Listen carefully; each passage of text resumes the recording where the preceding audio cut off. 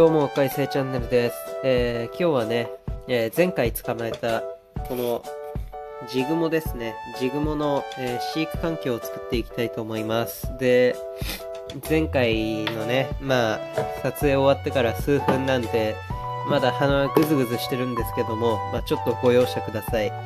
えそれでね、えジグモの環境をじゃあ早速作っていきます。っていうのもね、結構簡単なんですよ、ジグモの飼育環境を作るの。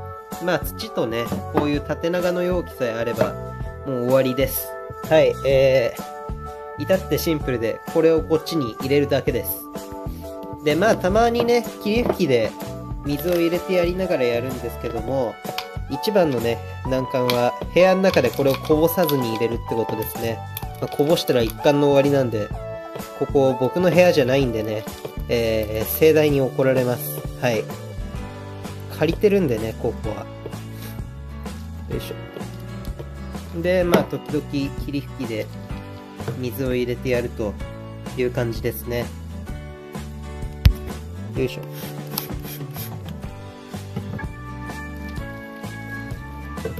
こんな感じで軽く霧吹きやったら混ぜて、また土を入れていきます。まあ今日はね、これの繰り返しなんでね、まあ途中からカットすると思いますが、まあ、なんでね、えー僕がまたジグモを飼ってるかっていうと、まああの、前回も言ったんですけど、前飼ってた子はね、友達にあげちゃって、で、まあ可愛かったんでね、また飼いたいなっていうことで、前回捕まえてね、えーやってるんですよ。で、こぼすと怖いんでね、やっぱカップ使いましょう。こんな感じで入れてった方が早いですしね。人間せっかくね、えー手をね、何かをつかめるように発達したんですから、その能力をね、使わないともったいないですね。よいしょっと。で、そろそろまた霧吹きをやって、土を入れていくと。よし。じゃあもうここからはカットでいきます。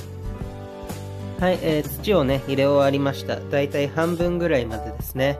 はい、で、ここでアドバイスなんですが、もし皆さんがジグモを買うときに、えーこの段階ではね、あんまり、えー他のね、障害物とか、まあ、入れ物を、入れ物っていうか、まあ、そうですね、装飾品とかを入れない方がいいと思います。まあ、なんでかっていうと、ジグモって、まあ、壁沿いにね、巣を張るんですね。で、この時点で、えー何も入れなければ、多分こういう透明の壁沿いに巣を張ってくれて、で、将来的にね、透明の壁沿いに巣を張ってくれれば、飼育とあと、まあ、観察がね、楽になるんですよ。で、ここで最初に、まあ、あの、いろいろね、えー入れちゃったりすると、えー今度はね、そっちの、まあ、入れたものの、に沿って、えー巣を張っちゃったりして、巣をね、えー地中の様子を見れなくなってしまったりとか、えーそういうことが考えられますので、えー最初はね、何も入れないことをお勧めします。で、巣を張ってきたら、えー後から、えーいろいろ装飾品を入れたりだとか、まあ、するのをお勧めします。はい、では早速ね、この子を投入していきましょう。よいしょ。はい。あ、もう、わかりづらいですね、すごい。はい、真ん中にいるんですよ、これ。ほんでね、えー、しばらくしたら巣をね、えー張ってくれると思います。大丈夫かな？元気かな？あ、元気ですね、一応。まあ、元気っていうか、今僕の指にびっくりしたんでしょうけども。はい、えー、これでね、まあ、あの1週間もすれば完全に巣ができると思います。なんで、また巣ができた時にね、動画を撮りたいと思います。はい、えー、今回はね、こんな感じで巣を、えー、作るね、環境を作ってあげる動画でした。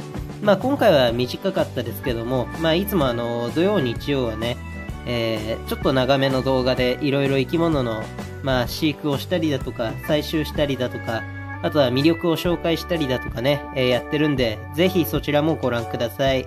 えー今回もご視聴ありがとうございました。